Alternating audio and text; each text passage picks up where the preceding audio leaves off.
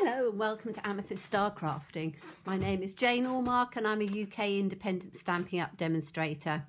And today we are having another look at the sneak peek of the quite curvy and the curvy dies which are coming out the beginning of November and they are just so lovely. There is so much that you can do with it. So really suggest 3rd of November that you click down on the link below and you can get hold of these products because they are just lovely.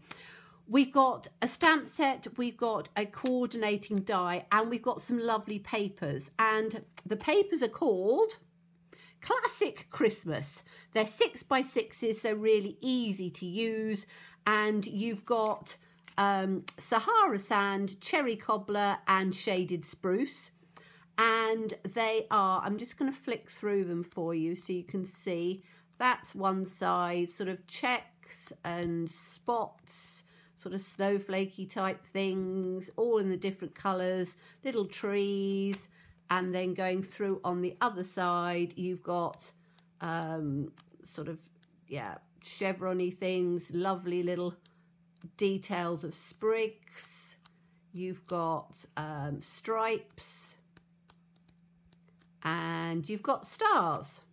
So lots to choose from and being double-sided you can sort of mix and match and everything. So stamp set, you've got these lovely leaves, beautiful curves, curves, curves, curves with your sentiments, little birds that you can make Christmassy as robins or birds for any time of the year, colour them in as you want lovely flower that we had a look at the other day. Little tiny weeny little sprig, which I haven't used yet.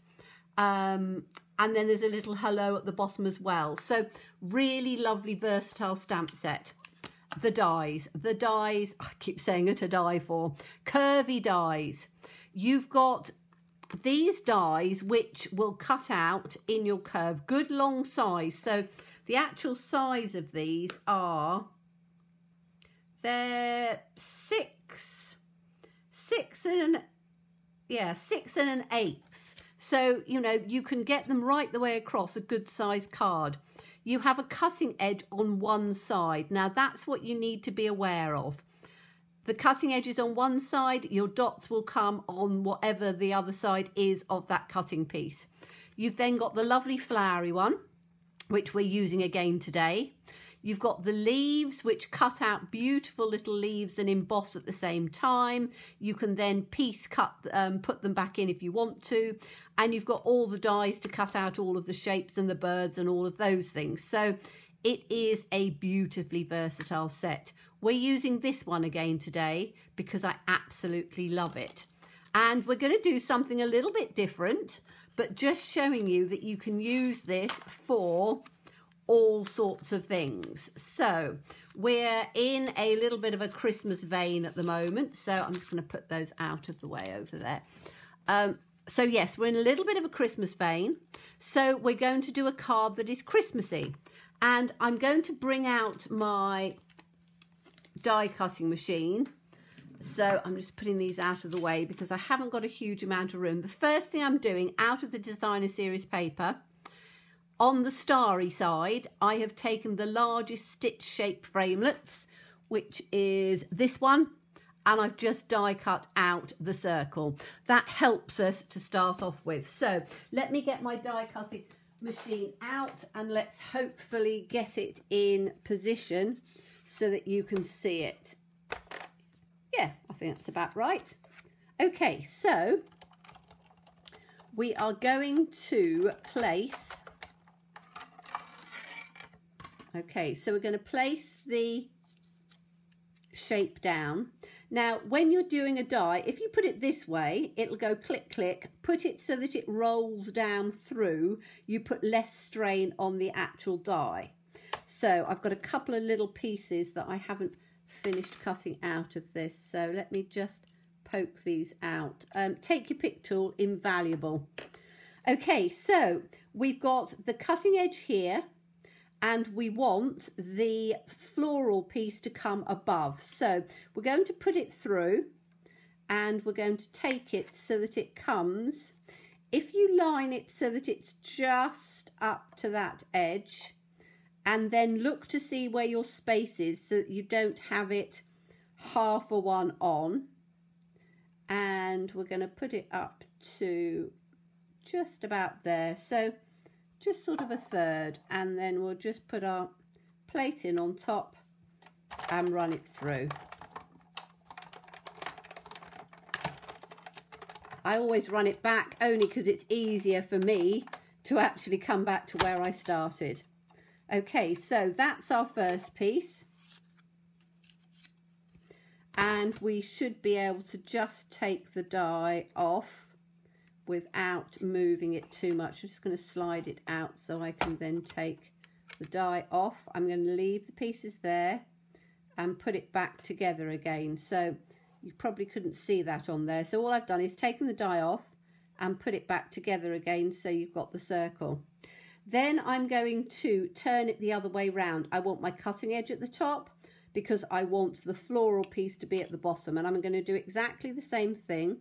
So I'm going to lie it across down at the bottom a bit, take it in on the edge just so that it comes in where I want it to.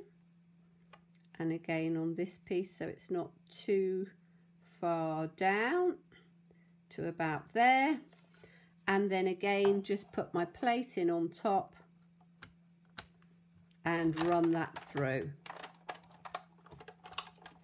get my hand out of the way a bit so you don't have all of my hand showing instead of the die cutting bit so I'm just going to bring that back in okay so we now have I've got a bit of static on there so it's coming out of there but we now have take this piece out. I'm going to take this plate, move this out of the way because we don't need that now. Okay, and then I can just sit back down again. So what we have done is we have created a bauble and they do come out really easily. So you don't have to fuss too much about clearing all the bits. Um, they just run through smoothly. You just need to clear your plate afterwards. So I can put that out of the way. So we now have a really rather pretty little bauble. And if we put it on our card with a bit of a space like this, you've then got a nice little Christmas bauble. So let's make a card with this. I've already prepared one that I did earlier and let me just get all the pieces out. So what I've done is I've taken some of the lovely, which I absolutely adore for a background. It's the um, mesh silver ribbon. Um, I'll put the link of it down below. I can't remember the exact name. I've, I've used it before.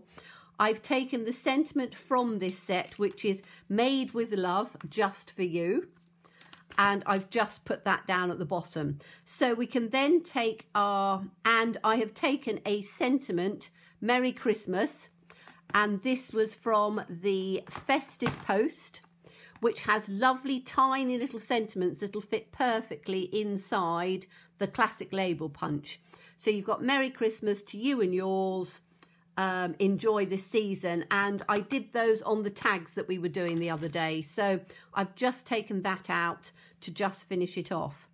Okay, so we have our three pieces here. Let me just make sure I've got them the way up I want them. That one, that one, and that one.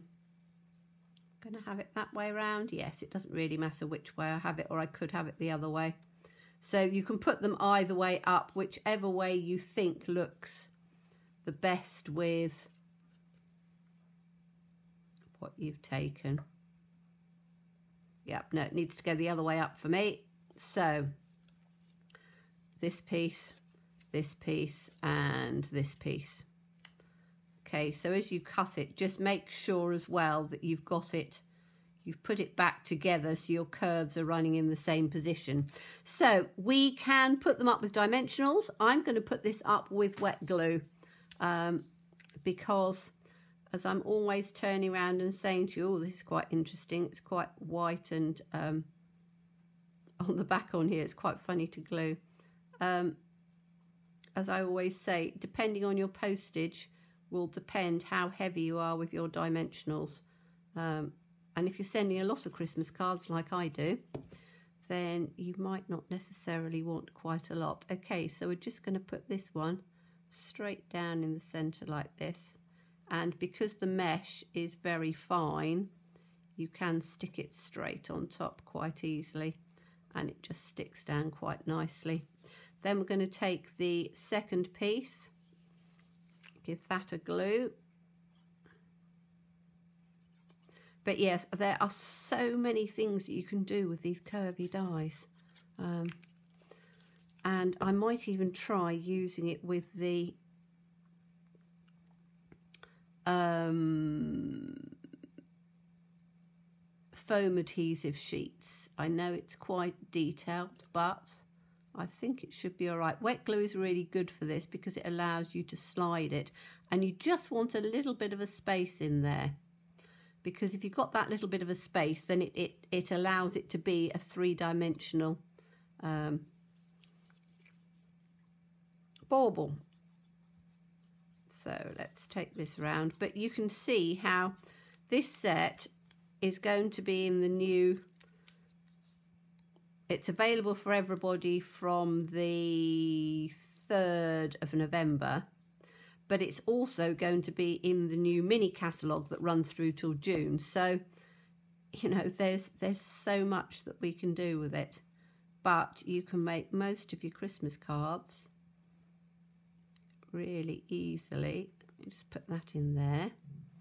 Okay, so I'm now going to press that down a little bit at the top so it's smoother and you then have a lovely sort of bauble card.